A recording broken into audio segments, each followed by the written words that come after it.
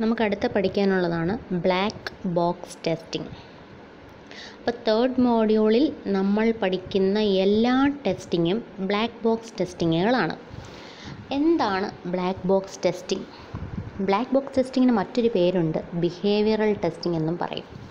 അപ്പോൾ black box testing എന്ന് പറഞ്ഞാൽ താഴെ കാണുന്നൊരു ഫിഗർ നോക്കുക. ഈ ടെസ്റ്റിങ്ങിന് നമ്മൾ കുറച്ച് ഇൻപുട്സ് കൊടുക്കും. അപ്പോൾ സ്വാഭാവികമായും ആ ടെസ്റ്റിങ്ങിന്റെ ഭാഗമായി നമുക്ക് കുറച്ച് ഔട്ട്പുട്ട്സ് കിട്ടും.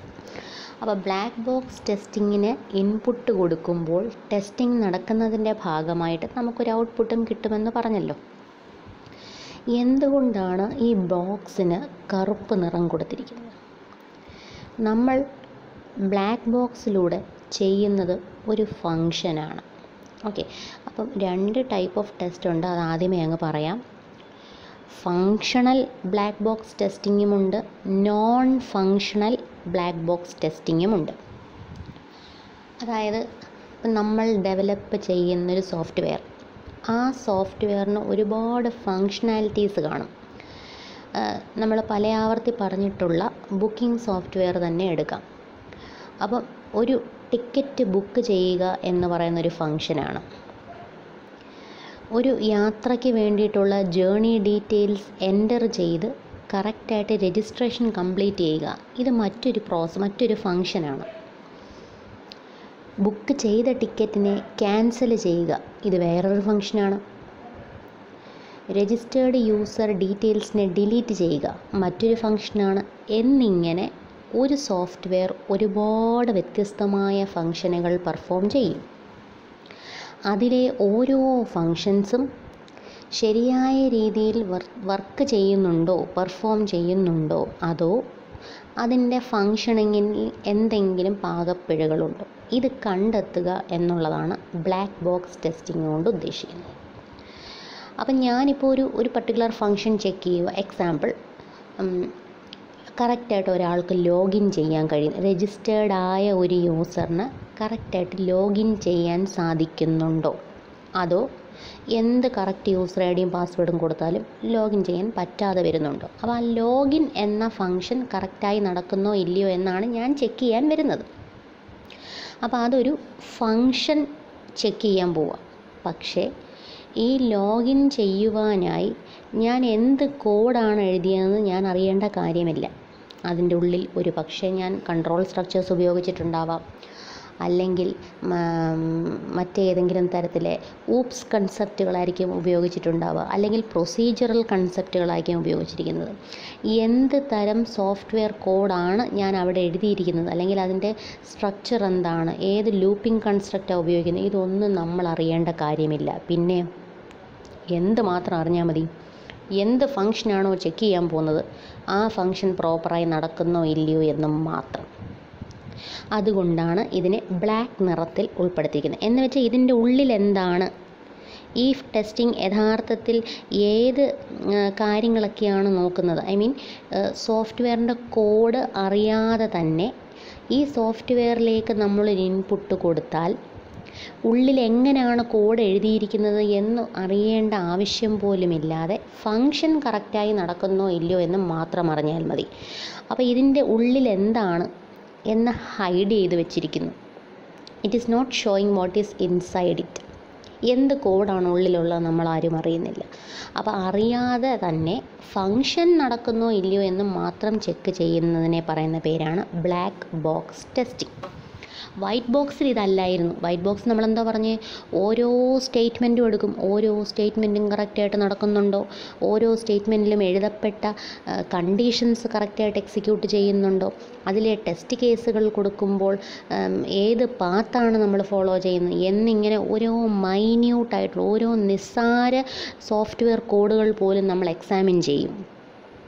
അപ്പോൾ ഇന്റേർണൽ സ്ട്രക്ചറിന്റെ വർക്കിംഗ് കറക്റ്റാണോ അല്ലയോ എന്ന് ചെക്ക് ചെയ്യുന്നതാണ് വൈറ്റ് ബോക്സ് ടെസ്റ്റിംഗ് പക്ഷേ ഓവറോൾ ഫങ്ഷൻ കറക്റ്റായിട്ട് നടക്കുന്നോ ഇല്ലയോ എന്ന് ചെക്ക് ചെയ്യുന്നതിനാണ് ബ്ലാക്ക് ബോക്സ് ടെസ്റ്റിംഗ് എന്ന് പറയുന്നത്. അപ്പോൾ black box checks the function of the project okay internal structure നമ്മൾ വറി ചെയ്യേണ്ട കാര്യമില്ല. അതുകൊണ്ട് തന്നെ ആ ടെസ്റ്റിങ്ങിന്റെ ഉള്ളിൽ എന്താണ് കോഡ് എന്നുള്ളത് ഹൈഡ് ചെയ്ത് വെച്ചിരിക്കുന്നതുകൊണ്ട് അത് അറിയേണ്ട ആവശ്യമില്ലാത്തത് കൊണ്ട് തന്നെ ആ ബോക്സിന് നമ്മൾ കറുപ്പ് നിറം കൊടുത്തിരിക്കുന്നു.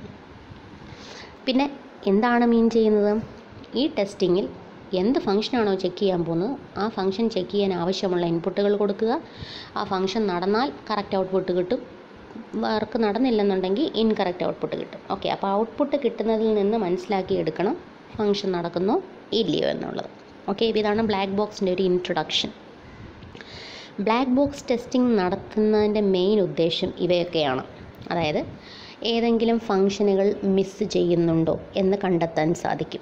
ഇന്റർഫേസുകളിൽ ഒന്ന് രണ്ട് മോഡ്യൂളുകൾ തമ്മിൽ കണക്റ്റ് ചെയ്ത് കഴിയുമ്പോൾ ഒന്നിൽ നിന്ന് ഡേറ്റ അടുത്തയിലേക്ക് ട്രാൻസ്ഫർ ചെയ്യുമ്പോൾ എന്തെങ്കിലും എററുകൾ വരുന്നുണ്ടോ? ഇനിഷ്യലൈസേഷൻ സംബന്ധമായ എന്തെങ്കിലും എററുകൾ വരുന്നുണ്ടോ? ഏതെങ്കിലും പെർഫോമൻസ് എററുകൾ വരുന്നുണ്ടോ? ഡേറ്റാബേസിലെ കണ്ടന്റുകൾ ആക്സസ് ചെയ്യുമ്പോൾ എററുകൾ വരുന്നുണ്ടോ? അപ്പോൾ ഇത്തരത്തിലെ എററുകളെ കണ്ടെത്താനാണ് ബ്ലാക്ക് ബോക്സ് ടെസ്റ്റിങ്ങുകൾ ഉപയോഗിക്കുന്നത്. മിസ്സിംഗ് ഫങ്ഷൻസ് കൊണ്ട് അർത്ഥമാക്കുന്നത് ഇപ്പോൾ ഞാൻ ലോഗിൻ ചെയ്യുന്നൊരു ഫങ്ഷനാണ് ചെക്ക് ചെയ്യുന്നത്. കറക്റ്റ് ഐ ഡിയും കറക്റ്റ് പാസ്വേഡും കൊടുത്താൽ ലോഗിൻ ആവും ഉറപ്പ്. പക്ഷേ ഇത് രണ്ടിലേതെങ്കിലും ഒന്ന് തെറ്റായി കൊടുത്താൽ ലോഗിൻ കറക്റ്റായി നടക്കുമോ അതോ നമ്മളെ തടയുമോ ബ്ലോക്ക് ചെയ്യുമോ എന്നുള്ളത് ഞാൻ ചെക്ക് ചെയ്തില്ല. അതൊരു മിസ്സിങ് ഫങ്ഷനാണ് അപ്പോൾ ഒരു ഫങ്ഷനെ ചെക്ക് ചെയ്ത് അതിന്റെ എല്ലാ പോസിബിലിറ്റീസും ചെക്ക് ചെയ്യണം എന്നാണ് ഇതുകൊണ്ട് അർത്ഥമാക്കുന്നത്. ഓക്കെ ഇനി റിക്വയർമെന്റ്സ് ബേസ്ഡ് ടെസ്റ്റിംഗ് എന്നുള്ളതാണ് മറ്റൊരു ടെസ്റ്റിംഗ് റിക്വയർമെന്റ്സ് ബേസ്ഡ് ടെസ്റ്റിംഗ്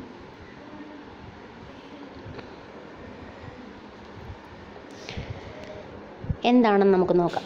നമ്മുടെ സോഫ്റ്റ്വെയറിൽ ഒരുപാട് നേരത്തെ പറഞ്ഞതുപോലെ ഫങ്ഷൻസ് ഉണ്ട്. ഈ ഫങ്ഷൻസ് ഒക്കെ വേണമെന്ന് നമുക്ക് എങ്ങനെയാണ് മനസ്സിലായത്? നമ്മളോട് കസ്റ്റമർ പറഞ്ഞ് ആവശ്യപ്പെട്ട പ്രകാരം കുറേ റിക്വയർമെന്റ്സ് അവർ തന്നിട്ടുണ്ട്. അവർ നമ്മളോട് പറയും എന്റെ സോഫ്റ്റ്വെയറിൽ ഇന്ന ഇന്ന ഫീച്ചേഴ്സ് ഉണ്ടായിരിക്കണം. ഇത് ചെയ്യാനുള്ള കഴിവ് വേണം. അങ്ങനെ കസ്റ്റമറിനെ ആഡ് ചെയ്യാൻ പറ്റണം. കസ്റ്റമറിന്റെ ഡീറ്റെയിൽസ് എഡിറ്റ് ചെയ്യാൻ പറ്റണം. കസ്റ്റമറിന്റെ ഡീറ്റെയിൽസ് ഡിലീറ്റ് ചെയ്യാൻ പറ്റണം. എന്നിങ്ങനെ ഒരുപാട് എന്താണ്? റിക്വയർമെന്റ്സ് നമ്മളോട് ആവശ്യപ്പെടും. കസ്റ്റമർ നമ്മുടെ മുൻപിൽ വെച്ച അല്ലെങ്കിൽ നമ്മളോട് ആവശ്യപ്പെട്ട ഓരോ ഫീച്ചറും ഓരോ ആവശ്യവും നമ്മുടെ റിക്വയർമെന്റാണ് അപ്പോൾ ഈ റിക്വയർമെന്റുകളുടെ കളക്ഷനിൽ നിന്ന് ഓരോ റിക്വയർമെന്റുകൾ വീതം നമ്മൾ എടുക്കുക ചെക്ക് ചെയ്യുക. ഫസ്റ്റ് റിക്വയർമെന്റ് എടുത്തു. ചെക്ക് ചെയ്യുന്നു. സെക്കൻഡ് റിക്വയർമെന്റ് എടുത്തു ചെക്ക് ചെയ്യുന്നു. അങ്ങനെ ഒരു ലിസ്റ്റ് പ്രിപ്പയർ ചെയ്തിട്ട് ഓരോ റിക്വയർമെന്റും അവർ ആവശ്യപ്പെട്ട പ്രകാരം നമ്മൾ ടെസ്റ്റ് ചെയ്ത് നോക്കുന്നതിനെയാണ് റിക്വയർമെന്റ്സ് ബേസ്ഡ് ടെസ്റ്റിംഗ് എന്ന് പറയുന്നത്. റിക്വയർമെന്റ് എന്ന് പറയുമ്പോൾ സോഫ്റ്റ്വെയറുമായി സോഫ്റ്റ്വെയറുമായി മാത്രം ബന്ധപ്പെട്ടതല്ല. ഇപ്പം ഇത് ഞാൻ പറയാം. നേരത്തെ പറഞ്ഞതനുസരിച്ച് ടിക്കറ്റ് ബുക്ക് ചെയ്യാൻ പറ്റുന്നുണ്ടോ? ബുക്ക് ചെയ്ത ഒരാൾക്ക് പിന്നീട് ടിക്കറ്റ് ക്യാൻസൽ ചെയ്യാൻ പറ്റുന്നുണ്ടോ? രജിസ്ട്രേഷൻ ചെയ്യാൻ പറ്റുന്നുണ്ടോ? ലോഗിൻ ചെയ്യാൻ പറ്റുന്നുണ്ടോ? ലോഗ് ഔട്ട് ചെയ്യാൻ പറ്റുന്നുണ്ടോ? ഇതൊക്കെ ചെക്ക് ചെയ്യുമ്പോൾ അതിനോടൊപ്പം തന്നെ ഒരേ സമയം ഒന്നിലധികം ആളുകൾ റിക്വസ്റ്റ് ചെയ്താൽ സോഫ്റ്റ്വെയർ അവരോട് ഈക്വലി ഹാങ് ആവാതെ തന്നെ ഈക്വലി റെസ്പോണ്ട് ചെയ്യുന്നുണ്ടോ? അതായത് സോഫ്റ്റ്വെയറിന്റെ പെർഫോമൻസ് എങ്ങനെയാണ്? അതിന്റെ ഇന്റർഫേസ് ഡിസൈൻ പ്രോപ്പറാണോ യൂസർ ഇന്റർഫേസ് ഡിസൈൻ പ്രോപ്പറാണോ പ്ലീസിങ് ആണോ? ഇൻഫർമേഷൻ യൂസറിനോട് പ്രോപ്പറായി കൺ കൺവേ ചെയ്യുന്നുണ്ടോ? പിന്നെ യൂസബിൾ ആണോ? യൂസബിൾ എന്ന് പറയാൻ കാരണം എന്തെങ്കിലും ഇൻകറക്റ്റ് ഡേറ്റ എന്റർ ചെയ്താൽ പ്രോപ്പർ വാർണിംഗ് മെസ്സേജുകൾ വരുന്നുണ്ടോ? ഫ്ലെക്സിബിൾ ആണോ? കസ്റ്റമർ സൈറ്റിൽ സ്വന്തം സൈറ്റിൽ കൊണ്ടിതിനെ ഇംപ്ലിമെന്റ് ചെയ്യുമ്പോൾ ഓരോ കസ്റ്റമറും ഓരോ തരത്തിലെ ഹാർഡ്വെയറുകളും സോഫ്റ്റ്വെയറുകളും ആയിരിക്കും അവരവരുടെ സൈറ്റിൽ ഉപയോഗിക്കുക.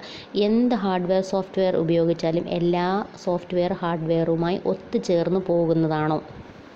എന്നിങ്ങനെ വേരിയസ് റിക്വയർമെന്റുകളും ഫങ്ഷനാലിറ്റീസും ആയിരിക്കും നമ്മൾ ചെക്ക് ചെയ്യുക. ഓക്കെ ഇനി അടുത്തതായിട്ട് നമ്മൾ പറയുന്നതെന്ന് വെച്ചാൽ റിക്വയർമെന്റ് ബേസ്ഡ് ടെസ്റ്റിങ്ങിലെ വ്യത്യസ്തമായ സ്റ്റേജസിനെ കുറിച്ചാണ്. Different stages in requirements based testing അതിലെ ഫസ്റ്റ് സ്റ്റേജാണ് ടെസ്റ്റ് കംപ്ലീഷൻ ക്രൈറ്റീരിയ ഡിഫൈൻ ചെയ്യുക എന്നുള്ളത്.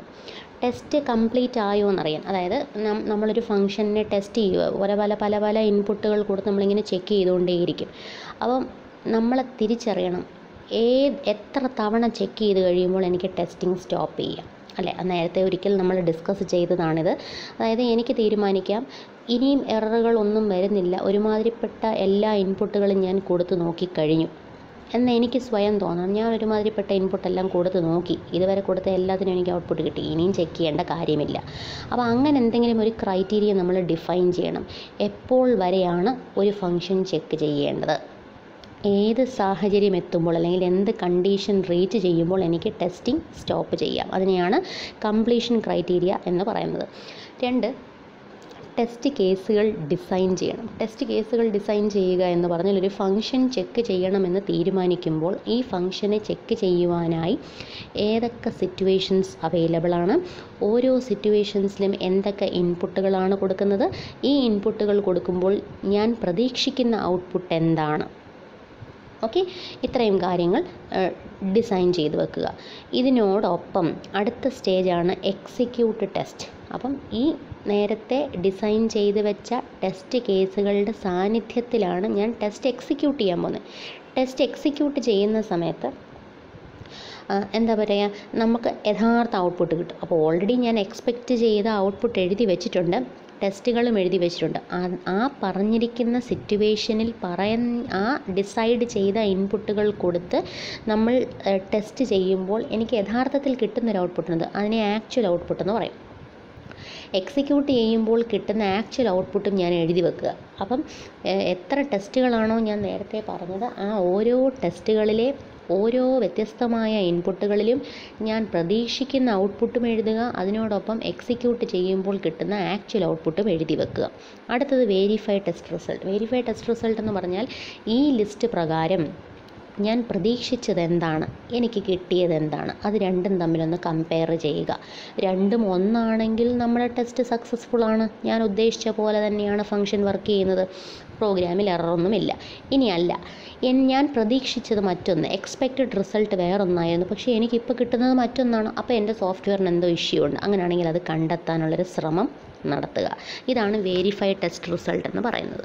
മറ്റൊന്ന് വേരിഫൈഡ് ടെസ്റ്റ് കവറേജ് ടെസ്റ്റ് കവറേജിനെ വെരിഫൈ ചെയ്യുക എന്ന് പറഞ്ഞാൽ നേരത്തെ പറഞ്ഞതുപോലെ നമ്മുടെ കയ്യിലൊരു ലിസ്റ്റ് ഉണ്ട് ആ ലിസ്റ്റ് പ്രകാരം എന്തൊക്കെ റിക്വയർമെന്റുകളാണ് ടെസ്റ്റ് ചെയ്യേണ്ടതെന്നും അതിലേതൊക്കെയാണ് ടെസ്റ്റ് ചെയ്യേണ്ടതെന്നും നമ്മൾ എഴുതി വെച്ചിട്ടുണ്ട്.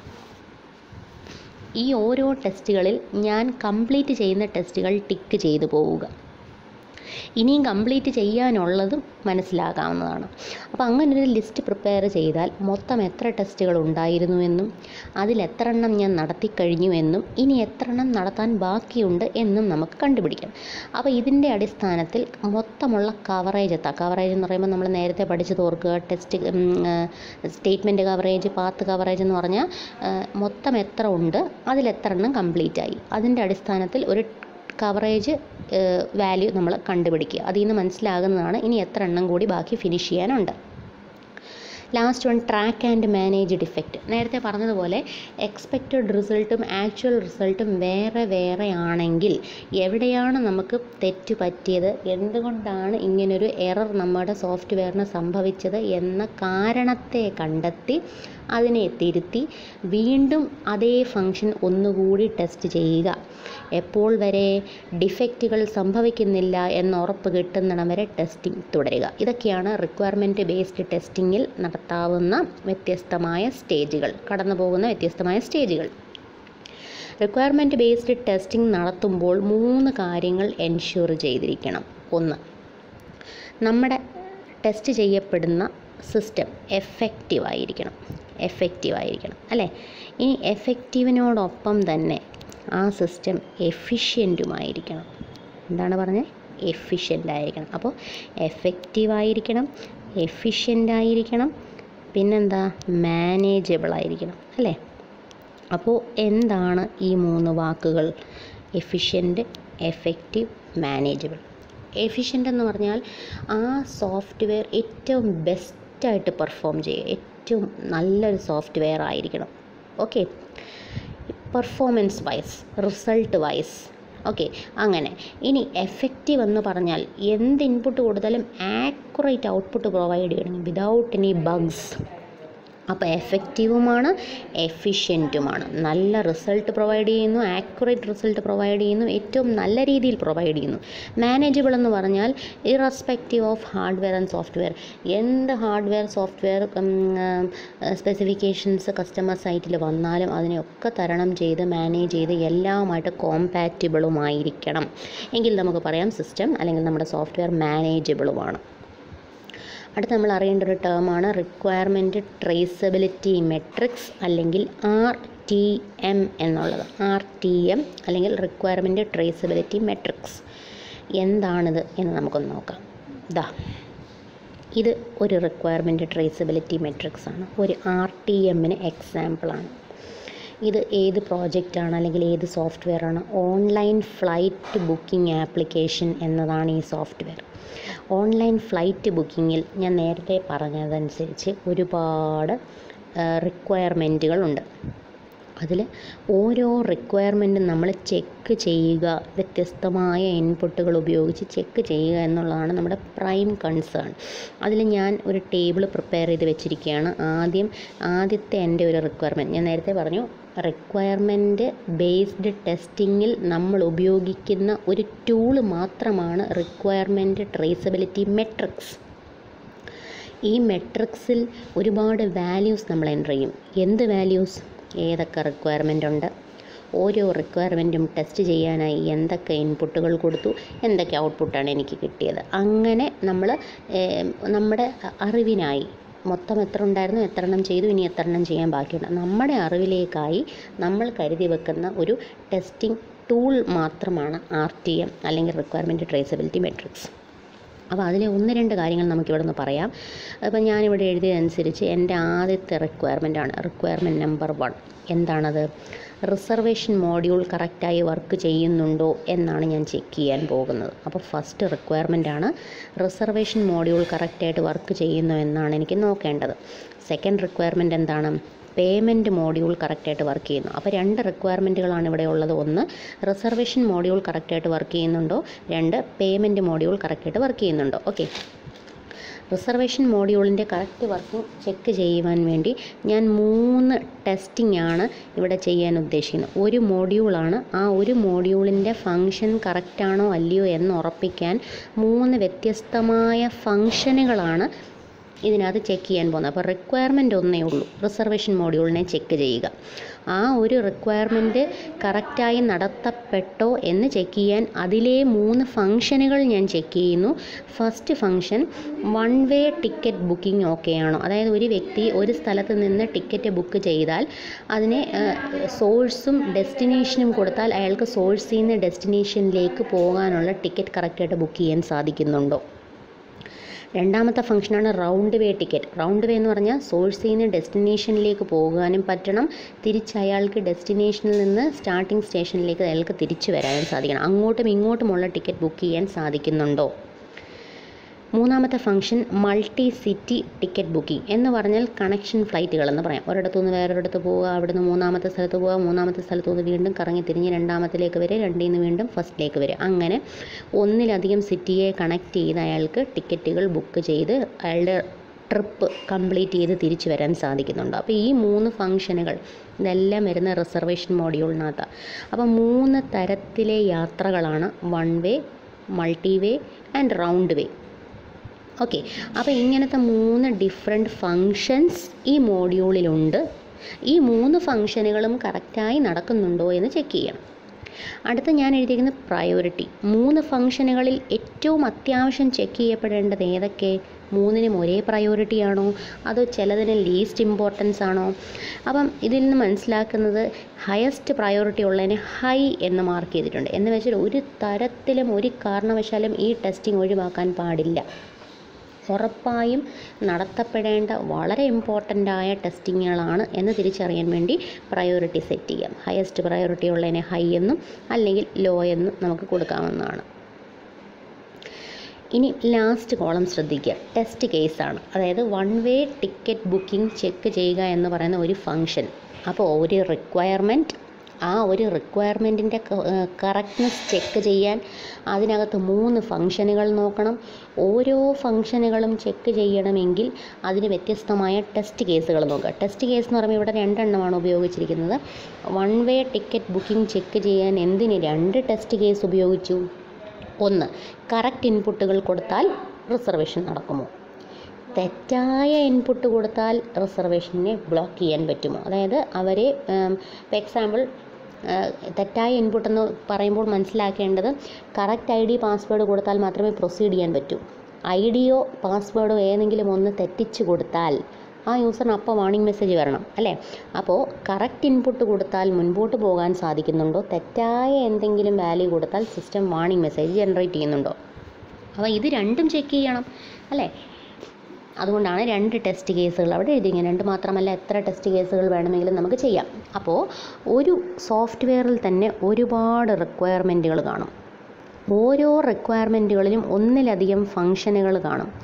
ഓരോ ഫങ്ഷനുകൾക്കും പ്രയോറിറ്റി വ്യത്യസ്തമായിരിക്കും. ചിലതിന് ഹൈ ചിലതിന് മീഡിയം ചിലതിന് ലോ ഇനി ഓരോ ഫങ്ഷനിനും ഒന്നിലധികം ടെസ്റ്റ് കേസുകൾ നമ്മൾ ചെക്ക് ചെയ്യേണ്ടി വന്നേക്കാം. ഇങ്ങനെ പല ടെസ്റ്റ് കേസുകൾക്കും നമുക്ക് കറക്റ്റ് ഔട്ട്പുട്ട് കിട്ടിയേക്കാം. പല ടെസ്റ്റ് കേസുകൾക്കും നമുക്ക് ബഗ്ഗുകൾ വന്നേക്കാം.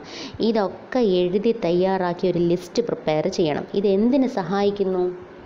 നമ്മൾ ഉദ്ദേശിച്ച എല്ലാ റിക്വയർമെന്റുകളും ഇതിനകത്ത് വന്നിട്ടുണ്ടോ? എല്ലാ ഫംഗ്ഷനുകളും ടെസ്റ്റ് ചെയ്യപ്പെട്ടിട്ടുണ്ടോ? അതോ ഏതെങ്കിലും ഇനിയും ടെസ്റ്റ് ചെയ്യാൻ ബാക്കിയുണ്ടോ? എന്ന് നമ്മളെ നമ്മുടെ സോഫ്റ്റ്വെയർ ഇമ്പ്രൂവ് ചെയ്യാൻ സഹായിക്കുന്ന ഒരു ടൂളാണ് റിക്വയർമെന്റ് ട്രേസബിലിറ്റി മെട്രിക്സ് എന്ന് പറയുന്നത്. ലാസ്റ്റ് ഒരു കാര്യം കൂടെ പറയാനുണ്ട്. ആർ ടി എമ്മിന്റെ വർക്ക് ഫ്ലോ അതായത് റിക്വയർമെന്റ് ട്രേസബിലിറ്റി മെട്രിക്സിന്റെ വർക്ക് ഫ്ലോ എന്താണെന്നാണ് പറഞ്ഞിരിക്കുന്നത്. വർക്ക് ഫ്ലോ ഒരു ടു ഡയമെൻഷണൽ റെപ്രസെന്റേഷനാണ് നമുക്കിവിടെ കാണാൻ സാധിക്കുന്നത്. ഇവിടെ എന്താണ് ഉദ്ദേശിക്കുന്നതെന്ന് വെച്ചാൽ മേളിയും താഴേക്ക് നോക്കുക ഞാനിപ്പോൾ പറയുന്നത്. നമുക്ക് ഒരുപാട് റിക്വയർമെന്റ് ഉണ്ട്. ഈ ഓരോ റിക്വയർമെന്റും കസ്റ്റമർ അല്ലെങ്കിൽ യൂസർ നമുക്ക് മുൻപിൽ വെച്ച ഒരു പ്രൊപ്പോസലാണ് ഒരാവശ്യമാണ്. അപ്പോൾ റിക്വയർമെന്റുകൾ എടുക്കുക. അത് യൂസർ നമുക്ക് മുൻപിൽ വെച്ച ഓരോ പ്രൊപ്പോസലാണ് ആ പ്രൊപ്പോസലുകൾക്ക് ഒന്നിലധികം ടാസ്കുകൾ ഉണ്ടാകും വിച്ച് മീൻസ് ഫങ്ഷൻസ് ഒരേ റിക്വയർമെന്റിന് ഒന്നിലധികം ഫങ്ഷനുകൾ ഉണ്ടാവാം. ഓരോ ഫങ്ഷനുകളിൽ നിന്നും നമ്മൾ എക്സ്പെക്റ്റ് ചെയ്യുന്നതും നമുക്ക് കിട്ടുന്നതുമായ കാര്യങ്ങളെ നമുക്ക് ഡെലിവറബിൾസ് എന്ന് പറയാം. ഈ ഡെലിവറബിൾസ് ശരിയാണോ അല്ലയോ എന്നറിയാൻ വേണ്ടി നമ്മൾ അതിൽ കുറേ ടെസ്റ്റിങ്ങുകൾ നടത്തേണ്ടി വരും. ഒന്നുകൂടെ ആവർത്തിക്കുന്നു.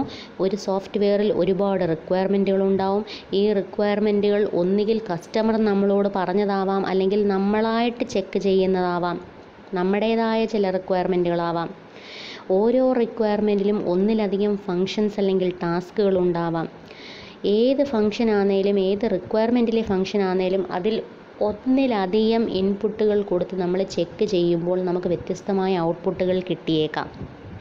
ആ ടെസ്റ്റിനെ ഡിഫൈൻ ചെയ്യുന്ന ഡെലിവറബിൾ ഡെലിവറബിൾ ഒരുപാടെണ്ണം ഉണ്ടാവാം.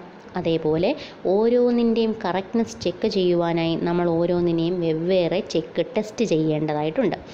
ടെസ്റ്റ് ചെയ്യുമ്പോൾ നമുക്ക് ഔട്ട്പുട്ട് കിട്ടും. ഔട്ട്പുട്ടിനെ നമ്മൾ വേരിഫൈ ചെയ്യും. വേരിഫൈ ചെയ്യുമ്പോൾ അത് കറക്റ്റ് ആവാം തെറ്റാവാം. കറക്റ്റ് ആണെങ്കിൽ ഓക്കെ നമ്മൾ അടുത്ത ടാ അടുത്ത റിക്വയർമെന്റിന്റെ അടുത്ത ടാസ്ക് എടുക്കും. അല്ലെങ്കിൽ അതേ റിക്വയർമെന്റിന്റെ മറ്റൊരു ഫംഗ്ഷൻ എടുത്ത് ചെക്ക് ചെയ്യും. ഇത് കണ്ടിന്യൂ ചെയ്തു പോകും. ഒരു പക്ഷേ വേരിഫൈ ചെയ്യുമ്പോൾ തെറ്റുണ്ടെങ്കിൽ വീണ്ടും നമ്മൾ നമ്മുടെ റിക്വയർമെന്റിനെ ചെക്ക് ചെയ്യുക. എന്തായിരുന്നു യഥാർത്ഥ റിക്വയർമെന്റ് എന്താണ് യൂസർ നമ്മളോട് ആവശ്യപ്പെട്ടത്? എന്ത് ഫംഗ്ഷൻ ആയിരുന്നു ചെക്ക് ചെയ്യേണ്ടത്? എന്താണ് യഥാർത്ഥത്തിൽ ഞാൻ ചെക്ക് ചെയ്തത്? അപ്പോൾ ഇങ്ങനെ വീണ്ടും റീ ചെക്ക് ചെയ്യുമ്പോൾ അങ്ങോട്ടും ഇൻപുട്ട് കൊടുത്താൽ ഔട്ട്പുട്ട് കിട്ടുന്നുണ്ടോ എന്ന് നോക്കണം. ഔട്ട്പുട്ട് ശരിയായ ഔട്ട്പുട്ട് അല്ല കിട്ടുന്നതെങ്കിൽ എന്തുകൊണ്ടാണ് കിട്ടാത്തത് എന്ന് തിരിച്ചു നോക്കണം. അപ്പോൾ ഇൻപുട്ട് ടു ഔട്ട്പുട്ടും ചെക്ക് ചെയ്യുക. ഔട്ട്പുട്ട് കറക്റ്റ് അല്ലെങ്കിൽ എന്ത് എന്ത് തെറ്റാണ് ഇൻപുട്ടിന് സംഭവിച്ചത് എന്നും ചെക്ക് ചെയ്യുക. അങ്ങോട്ടും ഇങ്ങോട്ടും ഉള്ള എല്ലാ പോസിബിലിറ്റീസും ചെക്ക് ഔട്ട് ചെയ്ത് ഒരു ഫൈനൽ കറക്റ്റ് ഔട്ട്പുട്ട് കിട്ടുന്നിടം വരെ ഈ ചെക്കിംഗ് കണ്ടിന്യൂ ചെയ്യുന്നതിനെ നമുക്ക് വർക്ക് ഫ്ലോ എന്ന് പറയാവുന്നതാണ്. വേറൊന്നുമല്ല നിങ്ങളോടിപ്പോൾ ഒരു അസൈൻമെന്റ് എഴുതാൻ പറയുന്നു. ആ അസൈൻമെന്റിന് മിൻ ടോപ്പിക്ക് തരുന്നു. നിങ്ങൾ തീരുമാനിക്കണം ആ അസൈൻമെന്റിൽ എത്ര സ്റ്റേജസ് ഉണ്ട്. ഒരു ഇൻട്രൊഡക്ഷൻ വേണം ഒരു ഡീറ്റെയിൽസ് അടങ്ങുന്ന കുറേ ഒരു ഡീറ്റെയിൽഡ് പാർട്ട് വേണം ഒരു കൺക്ലൂഷൻ വേണം. പിന്നെ നിങ്ങൾക്കായി തീരുമാനം ഒരു ഇൻഡെക്സ് പേജ് വേണം. ഇതെങ്ങനെ എഴുതണമെന്ന് നിങ്ങളാണ് തീരുമാനിക്കുന്നത്. ഫൈനൽ എഴുതി കഴിയുമ്പോൾ ഇൻഡെക്സ് പേജ് ഉണ്ടോ? പിന്നെ എന്താ പറയുക ഇൻട്രൊഡക്ഷൻ എഴുതിയിട്ടുണ്ടോ? ഡീറ്റെയിൽഡ് സെക്ഷൻസ് കറക്റ്റ് ആണോ? ഫിഗറൊക്കെ പ്രോപ്പറായിട്ട് ചെയ്തിട്ടുണ്ടോ? കൺക്ലൂഷൻ പ്രോപ്പറാണോ റെഫറൻസുകൾ എഴുതിയിട്ടുണ്ടോ? ഇതൊക്കെ നിങ്ങൾ ക്രോസ് ചെക്ക് ചെയ്യും. ആദ്യം ഞാൻ തന്ന ഇൻപുട്ട് വെച്ച് നിങ്ങൾ ഒരെണ്ണം പ്രിപ്പയർ ചെയ്തു. നിങ്ങളുടെ കയ്യിൽ കയ്യിലുള്ള ആ റിപ്പോർട്ട് വെച്ച് നിങ്ങൾ വീണ്ടും ക്രോസ് ചെക്ക് ചെയ്യുക റിവേഴ്സ് ചെക്ക് ചെയ്യുക. നമ്മളോട് ആവശ്യപ്പെട്ടതെല്ലാം നമ്മൾ ഇതിനകത്ത് ഉൾപ്പെടുത്തിയിട്ടുണ്ടോ? എന്തെങ്കിലും എക്സ്ട്രാ വരേണ്ടതായിട്ടുണ്ടോ? ഓക്കെ അപ്പോൾ അങ്ങ അങ്ങനെ നടത്തുന്ന നമ്മുടെ വർക്കിനെ നമ്മൾ വിലയിരുത്തുന്നതിനെയാണ് R T M work flow എന്ന് പറയുന്നത്. ഇതെന്തിന് ചെയ്യുന്നു? നമ്മുടെ സോഫ്റ്റ്വെയറിന്റെ ക്വാളിറ്റി ഇമ്പ്രൂവ് ചെയ്യാൻ വേണ്ടി ചെയ്യുന്നു. ഓക്കെ. അപ്പോൾ ഇത്രയാണ് ബ്ലാക്ക് ബോക്സ് ടെസ്റ്റിംഗ് എന്താണ് എന്നുള്ളതും അതിനകത്ത് വരുന്ന ഫസ്റ്റ് ടെസ്റ്റിംഗ് ആയ റിക്വയർമെന്റ്സ് ബേസ്ഡ് ടെസ്റ്റിങ്ങും ഓക്കെ.